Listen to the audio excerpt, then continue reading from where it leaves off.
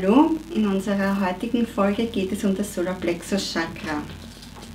Das Solarplexus Chakra, das liegt über unserem Bauchnabel. Es ist der Farbe Gelb zugeordnet und bei diesem Chakra geht es um zwischenmenschliche Beziehungen und die Fähigkeit, emotionale Verbindungen einzugehen. Das Solarplexus Chakra, das über dem Bauchnabel liegt, ist auch der Magenregion unserem Körper zugeordnet. Hier zeigt es sich auch, wie wir uns auf dieser Welt sehen. Sehe ich mich als Opfer oder Schöpfer? Sage ich jetzt, ich kann eh nichts machen, wie die Dinge sind, ich muss das halt über mich ergehen lassen? Oder bin ich Schöpfer und sage, ich nehme die Dinge selber in die Hand? Ist der Mensch erschöpft, so kann man ihm durch Aufladen des Solarplexus Chakras schnell neue Energien zuführen. Der Prana-Energiespiegel und die körperliche Vitalität können so beeinflusst werden. Dieses Chakra kann aber auch durch negative Emotionen leicht aus dem Gleichgewicht kommen. Wenn wir uns zum Beispiel ärgern, bist du der Merker, wie du auf einmal Magenschmerzen bekommst es ist halt das Zentrum der positiven und auch der negativen Emotionen. Das heißt Mut, Ausdauer, Ehrgeiz, aber auch Aggressivität, Wut, Hass, Neid, Gier. Aber auch Gewalttätigkeit und Grausamkeit zeigen sich hier. Im Solarplexus Chakra entstehen durch Stress und ungesunde Ernährung Zivilisationskrankheiten, aber auch das Immunsystem wird geschwächt. Leider können halt durch diese Fehlfunktion dieses Chakras dann so Krankheiten wie Diabetes, Störungen der Bauchspeicheldrüse, Verdauungsbeschwerden, ein zu hoher Cholesterinspiegel oder auch Herzkrankheiten entstehen.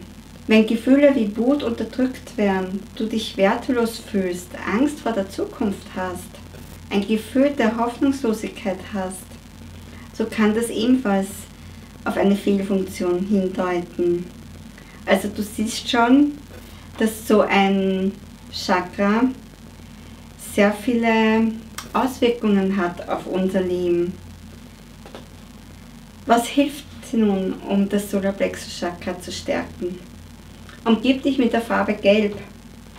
Stell dir vor, wie dein Körper von oben bis unter mit Sonnenlicht durchflutet wird. Stell dich den Herausforderungen des täglichen Lebens. Gehe auch mal ein Risiko ein. Übe Nein zu sagen. Mach nur das, was für dich gut ist. Meide krankmachende Situationen. Schreibe dir täglich auf, was du heute getan hast, was erfolgreich war was sich gut angefühlt hat. Schreibe ein Erfolgstagebuch. Vielleicht parallel dazu auch, was sich nicht so gut angefühlt hat. Und versuche das auch mit der Zeit zu ändern, damit es dich nicht mehr negativ beeinflussen kann. Lasse aufgestaute Emotionen zu und verarbeite sie wirklich bewusst, denn vor allem Wut, Verzweiflung und mit und Minderwertigkeitsgefühle sind schädlich für unseren Körper und für unsere Energie. Lobe dich selber, schenke dir selber ein Lächeln vor dem Spiegel. Mache Sport in der Natur.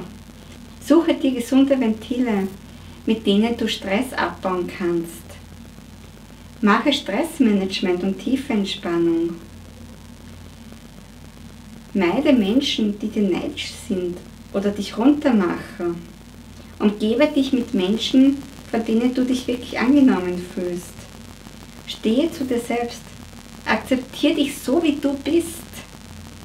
Finde deine innere Harmonie, Ausgeglichenheit. Tu, was dir gut tut. Halte dich von Energieräubern fern. Lerne dich wieder aufzuladen nach schwierigen Situationen.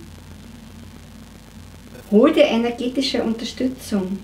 Ich helfe dir gerne beim Lösen deiner Blockaden. Ich freue mich schon auf unsere nächste Sendung. Bis bald. TV 21 Austria. Einfach anders.